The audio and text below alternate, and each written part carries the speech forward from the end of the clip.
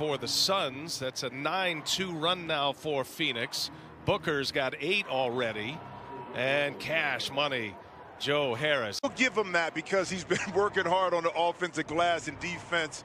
He's been doing his job, so he's allowed to step out there every now and then and take one of those shots. But an answer on the other end, Joe Harris.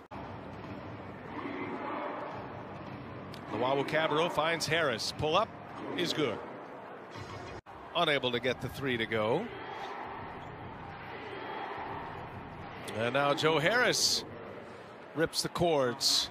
And Jae Crowder just able to pop, set his feet, knock in that open three.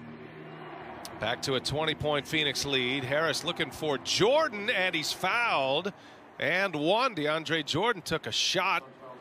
Well, that's his sixth attempt, and in his last game against Orlando, took a career high of 13 threes.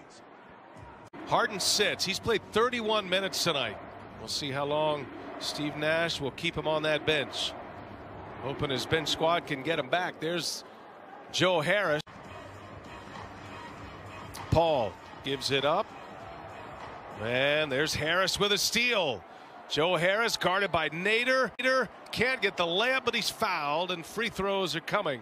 The better off and the more time James Harden can rest and then come back fresh. exactly. I'm just here, man. You know, I'm just uh, I'm just trying to carry your coattails. You need some water, you need some ice, what you need? Some tea. I know you like green tea over there sometimes. the wily veteran just walked Jeff Green down to his sweet spot. Knew he could get that shot. Oh, Harris with the left hand scores around Ayton. Paul's got 11 in this fourth quarter, 21 for the game. Harden goes right by Ayton, finds Harris. Three ball is up and in for Joe Harris right at the end of the shot clock.